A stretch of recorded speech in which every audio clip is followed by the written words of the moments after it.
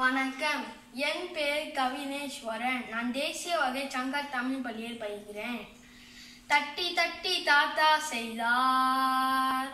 அற்புதமான மண்பானை.